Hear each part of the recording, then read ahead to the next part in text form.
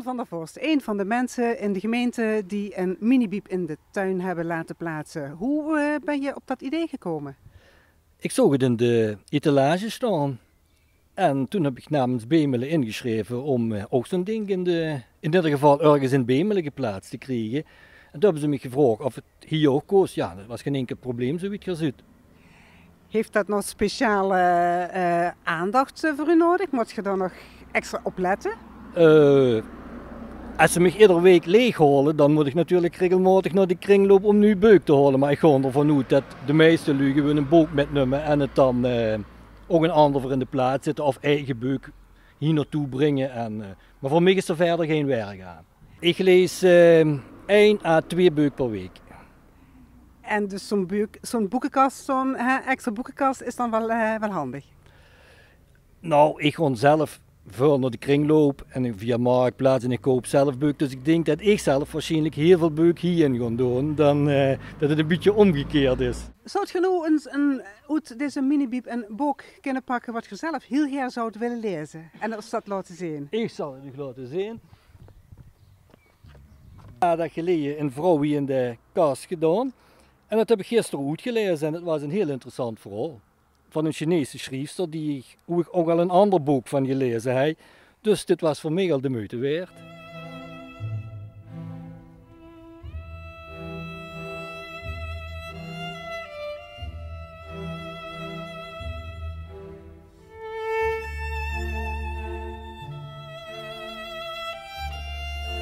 Verstaat iedereen in dialect?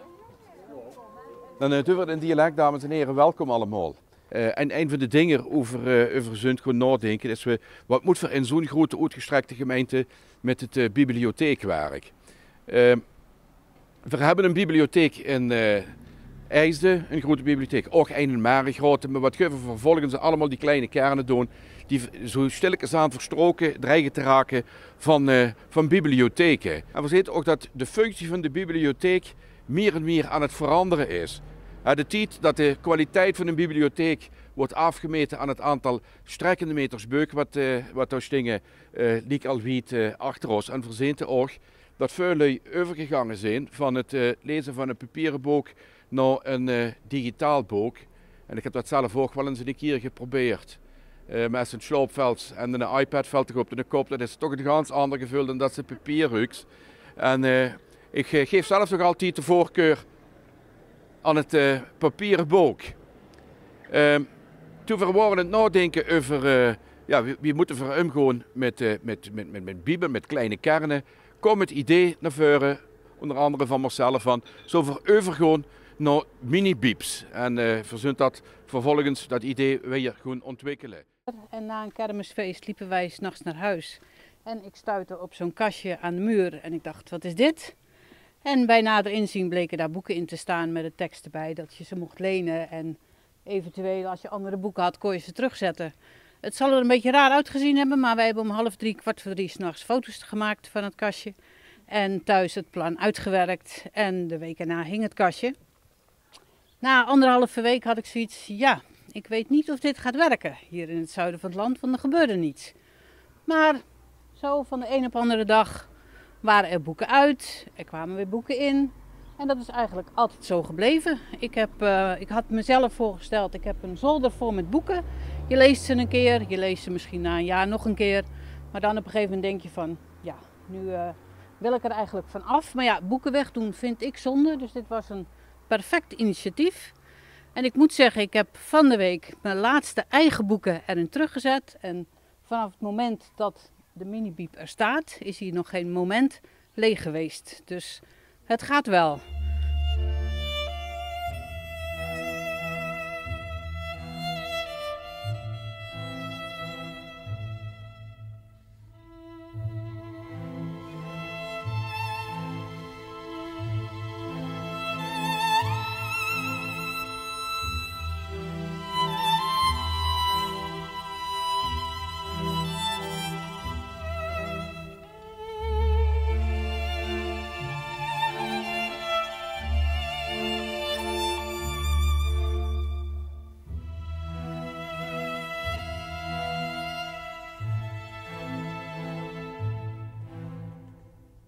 Is een erg grote hit. 15 kernen, dus we moesten ook komen tot de 15 van die kastjes. En dan is natuurlijk ook de vraag, wij lezen die kastjes vervolgens maken. Nou, Stichting Wereldwijd, die ook aanwezig, fijn dat er aanwezig zit Peter, heb gevraagd om uh, de kastjes te maken. Dus uh, alle kastjes zijn gemaakt in onze eigen gemeente. Vervolgens hebben we gekeken wie uh, voor de kastjes gevuld, want wie eenmaal in een tuin zomaar een kastje neerzetten en zeggen, of, of, kijken of het zichzelf vult, ja, daarvoor we het idee dat het niet lukt, dat gaat niet. Ehm, dus uh, verzund uh, dingen, verzund uh, uitgevers gewoon benaderen met de vraag van, wil er aan dat idee gewoon metwerken? En we hebben er veel bijval gekregen vanuit de uitgeverij.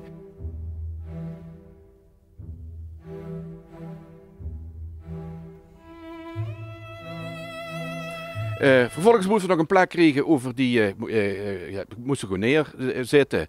En dan, uh, ja, op sommige plekken logisch voor de hand, maar groot bij de hoeskamer, uh, uh, een, keer bij het keerhoes. Maar wat, wat, ik nu leuk vind aan de plek hier, is dat een particulier, Dion van der Vos, zich daarover, ja, die over gaat bekommeren. Eigenlijk hetzelfde als wat de mevrouw in de Bannend ook deed. Want het moet ook uh, ja, het is geïnitieerd vanuit de gemeente met verzoen het geweldig vinden als het dadelijk door de burgers overgenomen gaat worden. Wie werkt dat? Nou, er staat een kastje met beuk.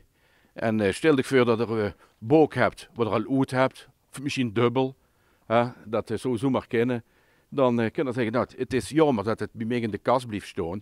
Ik ga dat in dat kastje neerzetten.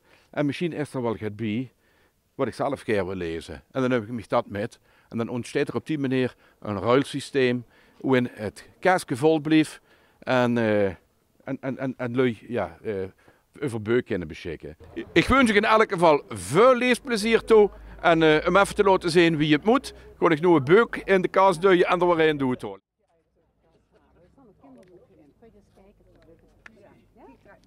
Roveldaal en boven Roveldaal. En dit is gelijk oversteken. En zo moet het eigenlijk gewoon. Dus dit zit ik en dit heb ik mee. Dankjewel.